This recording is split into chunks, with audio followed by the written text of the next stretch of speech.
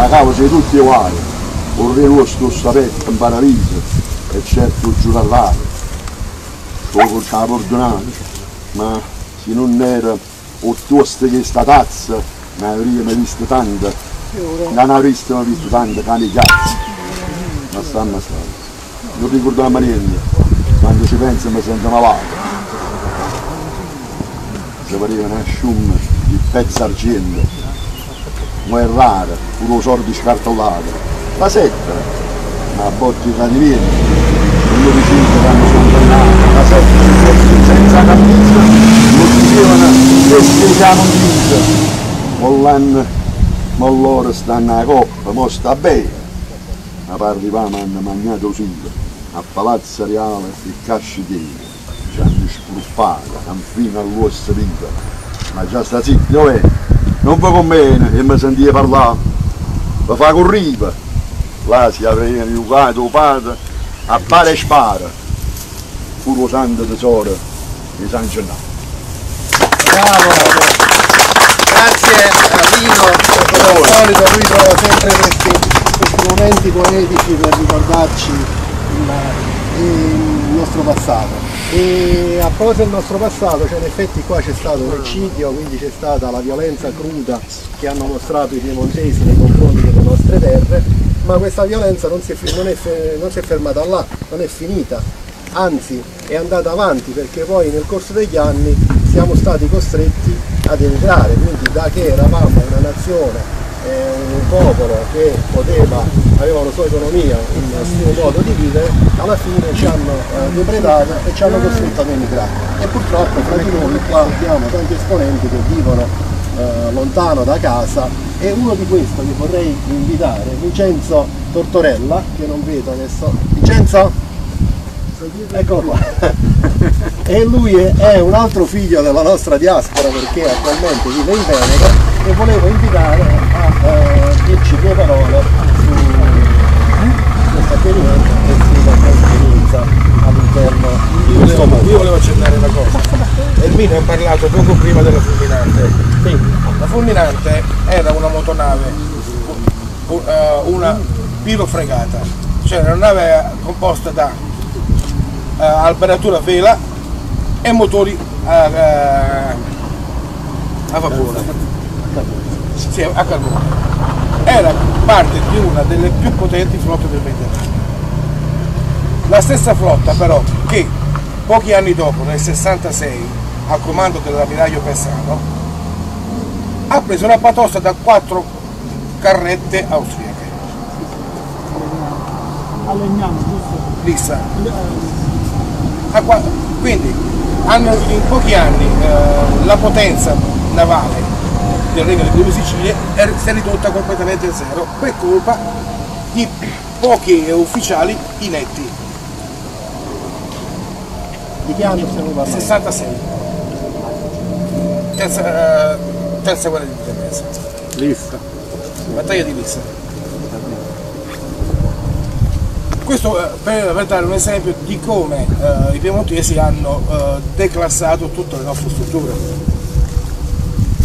Ehm, chi conosce Salerno sa che nella parte verso il mercato San Severino c'era un, un, eh, un forte complesso industriale, cotoniere, eh, filante, la, la, la Vieren, la- erano ehm, imprenditori eh, svizzeri che avevano avuto la possibilità di eh, installare delle, delle fabbriche tessili.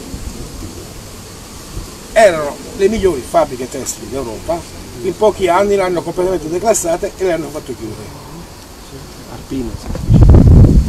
Alpino è sto, io sto parlando quello di, eh, della valle del, dell'Irno.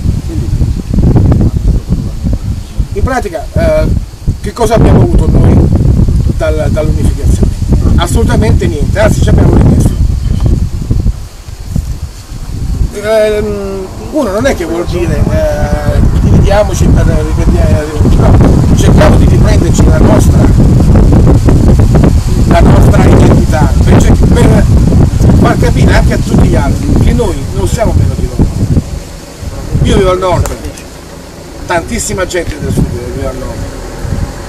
Tantissima gente del sud si sta facendo rispettare al nord proprio mantenendo onestà, impegno e voglia di lavorare. E questo qua non manca. Cerchiamo di sfruttare al massimo queste cose. Ricordiamoci di un'altra cosa, la cultura. Tanta gente dice che con la cultura non si fa niente. No, con la cultura si mangia. La cultura ci rende il nostro passato anche. Con la cultura si mangia. Eh, abitando a Verona ho, ho a che fare spesso con Romeo e Giulietta. Chi non li conosce? No, ma è un piacere. Allora, intanto, intanto vi dico subito, Romeo e Giulietta è una semplice. Un'interpretazione di, una- di un drammaturgo in- inglese che conosceva pochi eh, luoghi italiani. Ma i Romeo e Giulietta non erano veronesi. I Romeo e Giulietta erano del sud. Si chiamavano Teresa ad Amolideo e Davide d'Arminio. E la storia non finì male come eh, delle- cioè, finì molto meglio. Tanto era il luogo dove ci fu la, la, la pacificazione delle due famiglie, c'è un santuario, un monastero, E dove si trova questo Monte santuario? Corvino Rovella. Monte Rufino? Rovella. Allora, allora in pratica le due famiglie erano, erano così nemiche una con l'altra che ogni tanto una dell'altra eh, che veniva catturato veniva portato attualmente questo e alla presenza dell'altra famiglia decatturato. Successe hanno spesso anche per questo ragazzo per, eh, per Davide soltanto che eh, la sua ragazza che ormai eh, si poggiò anche nella testa sul, sul, sul cibo. Allora che un prete, un monaco, che cosa fece? No, non fece altro che... No, disse ragazzi, che volete fare? Qua sono due, uno di una famiglia e uno di un'altra. Allora i casi sono questi, uno ammazza tutti e due, o mettete d'accordo. E così vedete fuori questa, questa seduta di totalità della pace.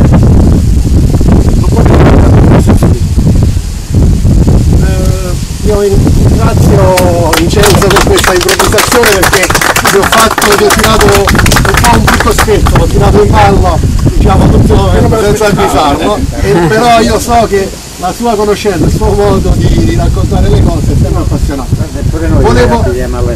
Volevo, eh, infatti, cioè una cosa, dove sta lei? A Roma. Sta a Roma, eh, l'estero confinante, Scusa, su, su quel romantico Romeo e Giulietta vorrei dire soltanto una cosa. Eh, sì, prego, prego, accomodate. Questo modo di, eh, di falsificare le notizie o mandare cose condivido perché io sono stato Girate vacca. circa 4 giorni fa a San Luca con un mio amico e, e ci hanno raccontato che tutto quello che si dice in telegiornale è falso. Eh vabbè. No, è fa- io, io ci credo a queste persone. Il provocatore, questa, questa faida di, di persone è iniziata perché due famiglie, una, una delle due famiglie ha ucciso un ragazzo dell'altra famiglia ed è cominciata una faida di vendetta, non di malavita, di vendetta tra, tra di loro, spacciata per, eh, per criminalità organizzata.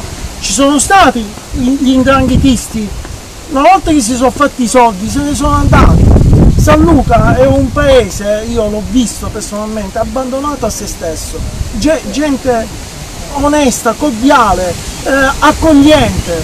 Quindi eh, sono aperti. Ovviamente a- sono a- sempre quelle mezze verità Mezze verità. ad- adoperate, infatti chi è che sta fuori, che vive al nord, vive all'estero, quando sente il telegiornale, legge il giornale, legge solo esclusivamente le notizie negative artatamente Cioè, eh, modificate. Eh. domani no, Salvini è a San Luca. da noi esistono un'infinità di bellissime iniziative che non vengono mai pubblicizzate. Ok, ok, ok, basta. Ma volevo, volevo per ultimo ricordare un'altra cosa, che oltre ad essere sì divisi, cioè nel senso che vari territori, però noi siamo anche un gruppo di vari eh, movimenti e associazioni che hanno la stessa finalità. E infatti fra noi abbiamo Freddy Adams che Adamo. è Adamo. Buongiorno a tutti. Vabbè, lui su, su- su Facebook si, si, si firma anche Adam, Ehm, che è- fa parte del movimento neoborbonico e che vorrei eh, invitare a dare la sua testimonianza. Allora, forse non si vede, ma io sono profondamente commosso. E non lo so se riuscirò a finire questo intervento perché sono molto emozionato. Perché quando abbiamo cominciato un lavoro di ricerca eh, sui documenti d'archivio per far scoprire finalmente che cosa è successo dalle nostre parti e che non era una semplice liberazione dell'Italia eh, adoperatasi da, da, da fratelli, no, italiani. Il nostro intento era quello di farlo sapere a quanta più gente è possibile perché noi dobbiamo riscoprire la nostra storia. Io ringrazio veramente il comune di Pregneto Conforte che ha fatto degli sforzi enormi, forse anche contro la popolazione, non lo so, perché ci sono dei muri enormi. Nonostante questa cosa qui faccia parte della nostra storia e ha toccato profondamente qualcuno di noi. Infatti c'è questo signore che è diretto discendente di uno fucilato di Pregneto Conforte. Io faccio ricerca d'archivio a Livorno, faccio parte del movimento culturale neoborbonico e il nostro intento è quello di scoprire quante più cose perché dobbiamo sbugiardare quello che ci hanno scritto nei storia che è falso. Ringrazio tutti, scusate. ma questo lo sanno.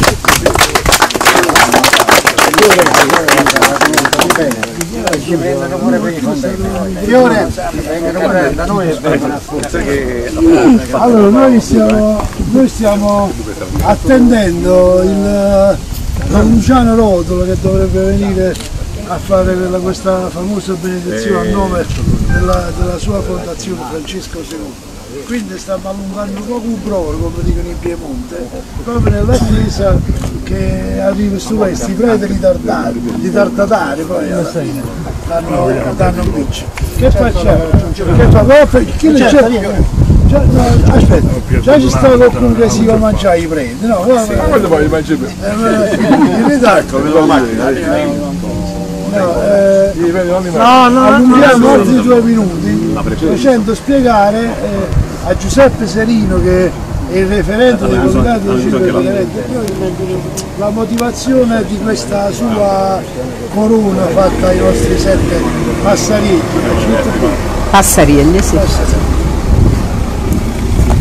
Eh, salve, il signor Giuseppe come Semarro della legazione di Benevento. Lo sento pure chi vede anche Allora, questa, questi signori qua Ma che ti questi signori qua dovrebbero fare siamo una finiti cross section eh, all'Italia per perché anche pure a parlare così questo impatano in bocca ma quando va? No, voi ci state a Verona ma detto questa che hai visto? Allora eh, la corona che dovrebbe essere diciamo caduti eh, l'ho fatta in una maniera che si capisce il, è il significato. Sette gigli per sette. Un giglio a testa per sette caduti caduti, caduti, piano così che non mi scordo è il contornato di colori della nostra bandiera, gialla e rossa, e con dei giri un po' più grossi.